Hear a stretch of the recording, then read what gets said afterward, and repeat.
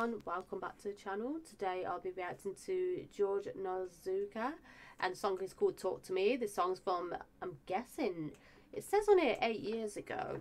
Let me double check. Sorry, it's been one second. It 2007. Wow, the song's from 2007.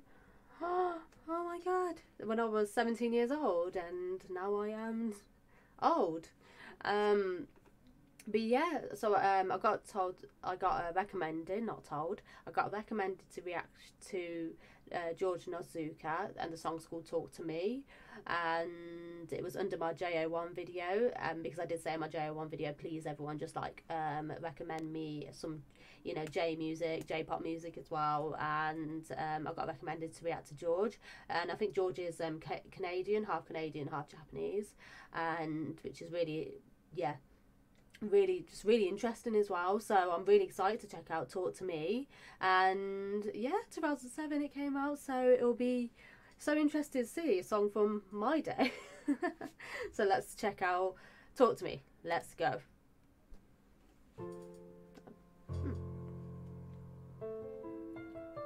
Oh it's a ballad. And he plays the piano as well. I understand why he's very popular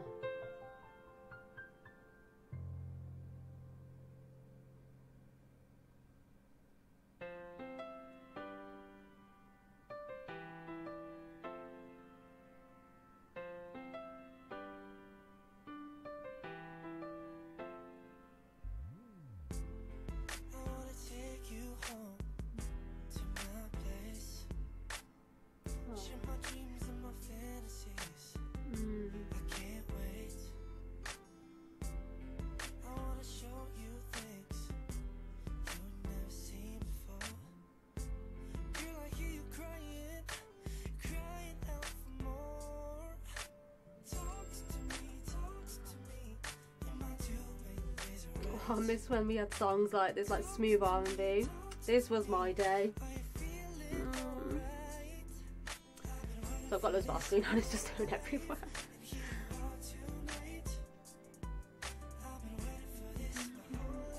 Oh, he's so cute.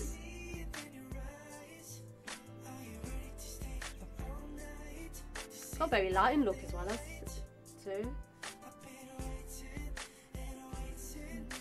And he can dance as well. What can't he do?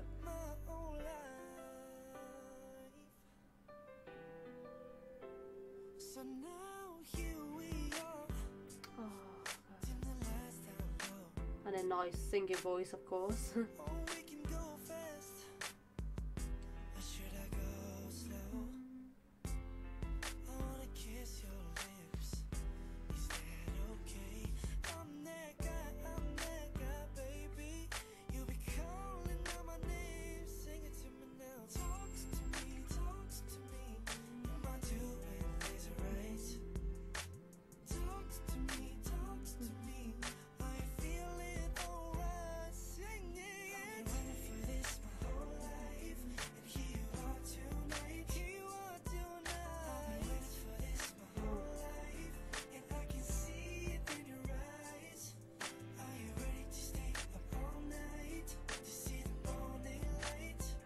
I miss when artists used to like, you know, British and American artists, even Canadian artists used to used to dance and sing, not just, you know, they used to bring something else, but no one really dance, barely anyone dances anymore in them industries like they used to.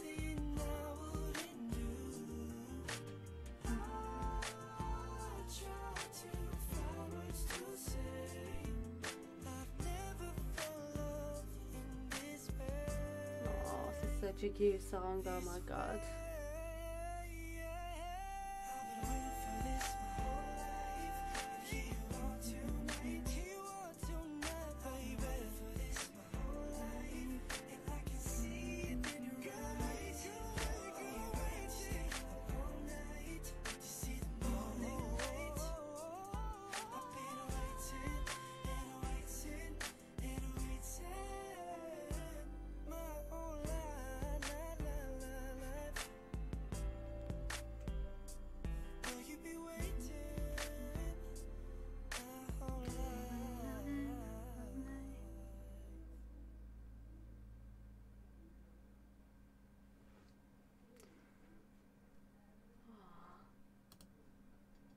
My god, it is 2006. It's not even 2007. Oh my god. Oh, but music was amazing around this time. Like I used to listen to so much in my teen years of like a lot of R and B, all the hip hop, all the rap. You know, a big Eminem fan. I was in these days. Um, and I used to listen to it all, and I just used to love it. And I miss music being like this. I really do. Um, of course, like the music industry has to move on; they have to bring new music. But I do really miss. This was my time. This was literally my young years when music was like this, and I really miss it. I just miss when artists used to dance as well. Barely anyone dances like anymore. Only in like, only in literally J-pop and K-pop. They're the only people that dance. Um, sadly, and I love that and I just miss that. And that's what I love about them industries that they still like dance and they still you know just bring something to their performances and they're still performers at the same time. Um, but it was nice to just hear this song. It's a really nice song. I can't believe I never heard this song. It's just such a shame because living in the UK, we just missed out on some really good songs that came out in like in America, in America and Canada in them days. We missed out on quite a few, and it's just really sad. And that was the problem with living in the UK because we did miss out on a lot of good songs that came out. And it's like through the internet, I'd like find out that one of my favourite artists released this song, but it didn't come out in the UK, and it just used to really annoy me. I was like, I hate living in the UK for that reason. One of the one of the reasons I was like, I hate living in the UK. The weather, yeah, the weather's uh, rubbish in the UK as it is, but another reason was that as well back in the day because I used to get really annoyed, like some of my favourite artists, and the song wouldn't come out here in the UK, and I was just like, why? And I didn't really have much access to the internet um, really in them days, so I couldn't really like constantly go on YouTube just to catch up on the song. Um, but and that's why I sadly never heard of uh, George. No- sorry, can't. Nazu. Oh God, I need to see. The, sorry, I to go back on surname. I need to Google his name properly. Yes, George Nozuka. Sorry. So yeah, I never heard of George. I just really wish I did. In the in these days, I would have loved his music because this song taught to me such a beautiful song. The lyrics are so nice, and I and you know like the. The, him oh my god his dance moves and everything and the video is just so sweet it's just like a little cute little ballad and you can tell he wrote the song you can just really tell you know when an artist is behind their own song and he seems very passionate and i'm really excited to check out more of his music i'm actually going to google him just so i can get to know him a little better um, so I've got a few things open opened up right now, and I'm using Luke's name. How bad is that of me? Let's just go on Google. Let's find out more about George. So if we can talk properly today. And Nozuka. American Canadian. Oh, he's American Canadian. So Talk to Me, I'm guessing, was must have been his biggest song because it's just come up as a suggestion. Talk to Me, Lie to Me with You. And let me Wikipedia him, just so I can get to know him better. 34 years old. Oh, he's four years older than me. So, also, he, he was 20 when Talk to Me came out. Ah, so he's 20 years old. So, George Nozuka, born 28th April 1986. Oh, his birthday's coming up. his birthday's in two days' time. So, he's going to be turning 35. Um, is an American-based Canadian Japanese R&B singer. How cool is that? and best known for his single "Talk to Me." Ah, which peaked at number one on the Much Music music video countdown in October 2006.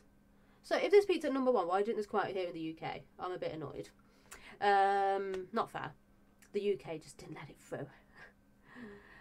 so Nozuka released his debut album Believe in 2007 under the I can never say that word mononym George. The album was produced by Perry Alexander Roy Royalty Hamilton and Anthony M. Jones and released by the HC Entertainment Group. Three tracks became hits Talk to Me, written and produced by Sean Myers. Lie to Me and Last Time. Music videos for the songs were directed by Artie, appeared on charts of Canada's music cable channel Much Music. In 2012, Nozuka released a mixtape titled Love Me for the mixtape and later works. He began using his full name in 2013. Ah, he released a studio album called Beautiful, along music video for the first single from the album called Don't Go. Ah. I will have to have a good look. I really have to have a good look at his music, but I do think he's quite hot at the same time. he is hot more like not just quite hot, he's really hot like look. Wow. Oh, so Talk to Me was like yeah his biggest biggest hit, but he's had some other hits too.